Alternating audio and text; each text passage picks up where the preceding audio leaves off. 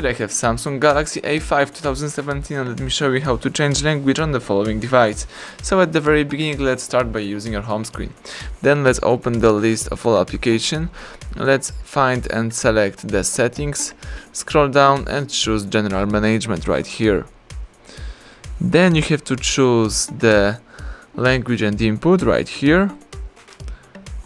Choose language and from the following list let's choose add language.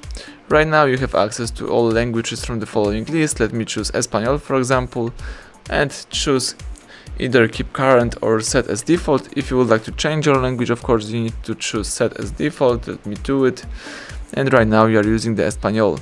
If you would like to go back to previous one just put the English into the first position and right now choose realizado and right now we are using the English. So everything went well, thank you for watching, please subscribe our channel and leave thumbs up under the video.